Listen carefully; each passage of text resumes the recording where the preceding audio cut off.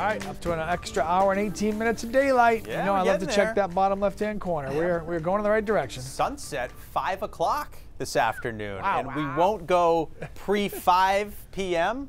until like November. So That's a nice thought. it isn't it? Isn't it? See? the That's the, a nice the daylight at the end of the day is just Searching for the positive. yes, trying to. We- We have Um, to dig deep for that one. Right. Want to show you the snowfall so far this season, and all of a sudden, we are ahead of the pace, above average by about 10 inches in Bangor, above average by about 7 inches in Caribou, still lagging a little bit behind in Portland, but recent storms have caught us up pretty nicely. And there's more snow in our forecast. Winter weather advisories away from the coastline.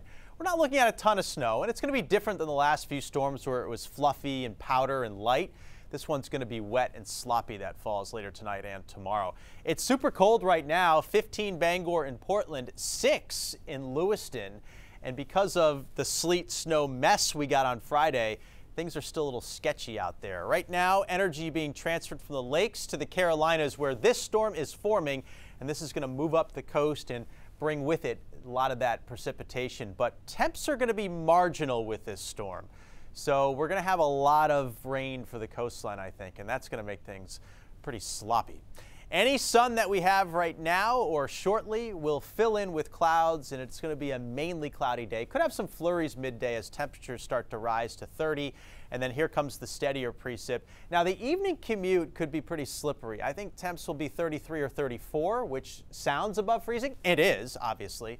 But because we're so far below right now, roads could be slick and there might be some icy spots, especially where we're getting a little bit of rain along the coast. And then that precip gets steadier and steadier through the course of the night.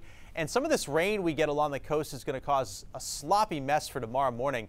I mean, think about all the storm drains uh, for coastal towns that got three inches of sleet. I mean, they're basically in a layer of cement right now. If you can, this afternoon, maybe do your neighborhood a favor and try to open up some of those drains so this water can get into them and not just pool up on the roads. Inland areas tomorrow morning getting heavy wet snow, continuing midday and then finally tapering off during the afternoon. I mentioned not a lot of snow for the coast. There might be a slushy coating. Other than that, it's very wet, which will make things very slushy regardless because we still have snowpack out there. I'd say about three inches for Bangor, one to three Augusta in Lewiston and Sebago Lake, interior York County. It's north and west of there, though. You get up into the higher elevations. I see close to six inches of a wet snow. Lower elevations closer to three inches of wet snow, and that goes all the way up to the Canadian border. So ski country and snowmobile country, once again getting some powder and some packed, uh, packed snow up there, which is great. We're back to sunshine on Wednesday as the storm moves out. End of the week, big storm free, but a front will come through Thursday with some snow showers, and then another one on Saturday with some snow showers. But little, if any, accumulation is expected from either of those. Small crafts are up, seas 2 to 4, southwest winds 10 to 15. We'll see flakes arrive this afternoon inland, mixed with some raindrops along the coastline. Could be a little slick for the evening commute. Tonight and tomorrow, rain snow mix tapering off in the afternoon. Again, a few inches as you get yourself away from the coast. A little milder Wednesday and Thursday, 40 degrees, bright at times. Maybe we'll get our driveways back.